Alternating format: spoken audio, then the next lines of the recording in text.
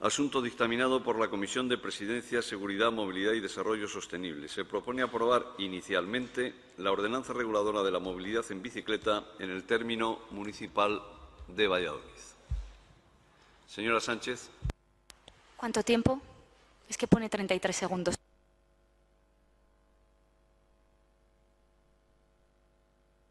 Que es la una y cuarto, hombre. Muchas gracias. Bien, voy a hablar de cuándo llega. ¿no? Eh, la verdad es que todos sabemos y todas sabemos que esta ordenanza llega con retraso. Ya cuando empezó este mandato, de, este mandato perdón, oíamos hablar de la ordenanza ciclista, lo hemos hablado en los distintos consejos, también en la Agenda Local 21.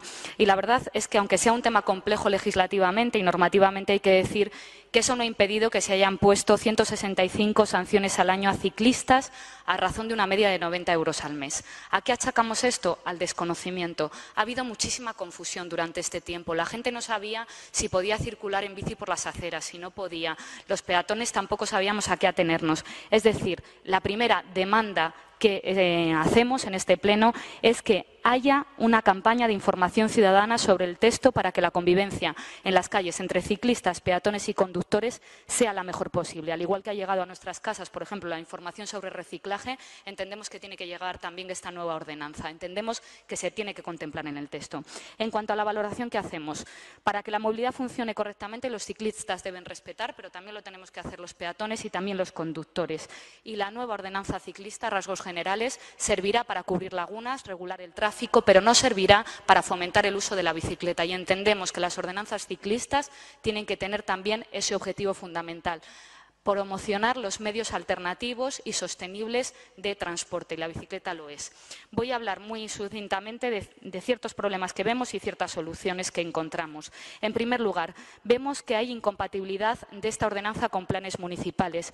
El cuarto plan de la Acción Local 21 de la Agenda, su uso decía que la bicicleta tenía que verse eh, teniendo en cuenta los itinerarios existentes, vamos, que convivieran ciertas zonas con el peatón, también con los coches, es decir, hay ciertas cuestiones que hay que revisar. No me da tiempo ya a decirlo, pero lo haremos medio alegación.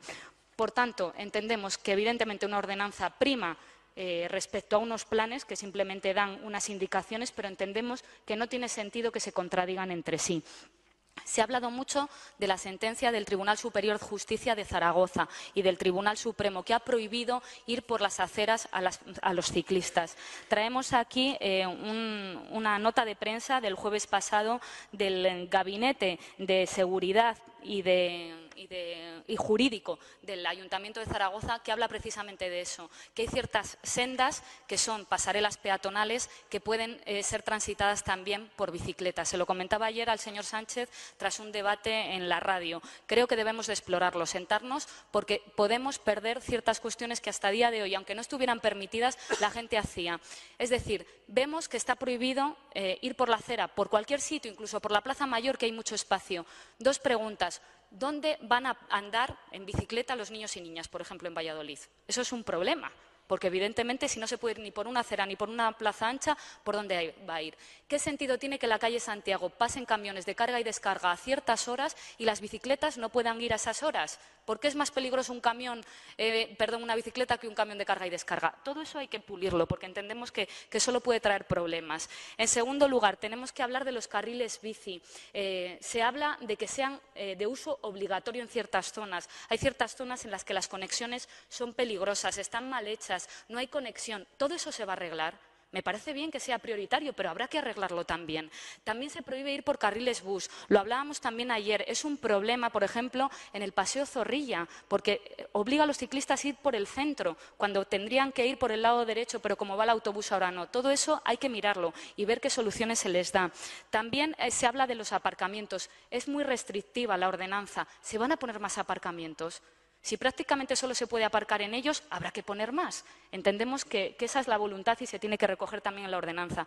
Nos preocupa además, y ya termino, que no haya régimen sancionador en la ordenanza si alguien hace algo mal, no sabe cuánto se le va a multar. Eso es inseguridad jurídica. Hay que incorporarlo. Y, en segundo lugar, nos parece que hay una falta de eh, responsabilidad, por así decirlo, teniendo una comunidad urbana de Valladolid en torno que no se fomente y no se potencie la movilidad ciclista entre Valladolid y los, municipios del entorno. Este tipo de cuestiones las presentaremos en nuestras alegaciones con muchas más que daremos a conocer. Muchas gracias. Gracias, señora. Sí, bueno, la ordenanza que teníamos, el borrador que teníamos era bastante, como usted dice, de las calles peatonales y tal, pero hay, hay una sentencia del Tribunal Supremo que prohíbe, que prohíbe que las bicis vayan por las aceras. Las aceras son para los peatones. El Tribunal Superior de Justicia, es superior de,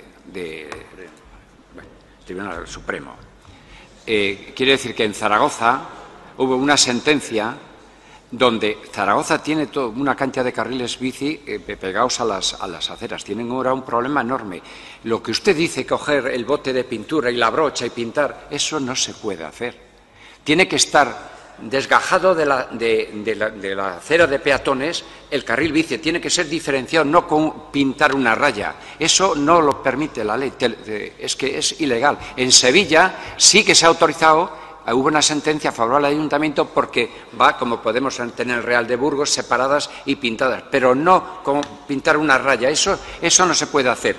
Quiere decir que, es muy fácil venir aquí y decir todo, pero después hay que ajustarnos a la ley. Y el tema de, habla usted del carril bus. No es un capricho de que aquí no lo hemos querido poner, es que el Reglamento General de Circulación lo prohíbe. El reglamento, cojas usted el reglamento de circulación y ya verá lo que le dice. Claro, es que aquí es muy fácil venir a decir que vamos a poner todo y todo, abierto y tal. Pero tenemos, hay un reglamento, sí, el reglamento, si quiere le leo el artículo, todo. Lo prohíbe totalmente. Y el tema de las pasarelas, señora Sánchez, quiere decir que nosotros ya tenemos una, la de Gómez Bosque, porque tenemos diferencias. Se puede, siempre que haya una diferenciación para peatones y ciclistas pueden circular las bicis, pero eso ya figura. Quiere decir, las, las pasarelas se pueden utilizar. Si solo no tiene señalización de cada separado para el, para el carril, para el bici, no pueden ir las bicis, solo son los peatones. Pero si hay la diferencia, sí, pueden circular como ya tenemos una que está en servicio. Y en lo sucesivo las pasarelas se puede hacer siempre que haya una diferenciación.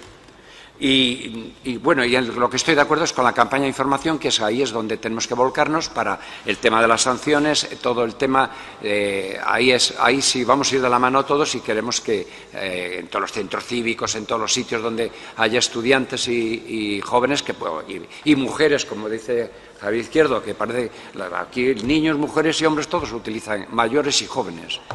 Nada, pues nada más. Esperamos, como va, una exposición pública de, eh, de, un mes. Esperemos que se presenten alegaciones y pues nos sentaremos y tomaremos una decisión, pero siempre ajustándonos a la ley. No vamos a hacer nada que después, en cuatro días, nos tiren la ordenanza abajo.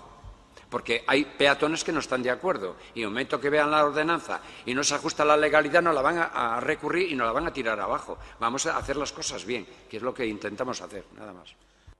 Gracias, señor Sánchez. Cerrado el debate, sometemos a aprobación el punto 6 del orden del día. ¿Votos a favor? ¿Votos en contra? ¿Abstenciones?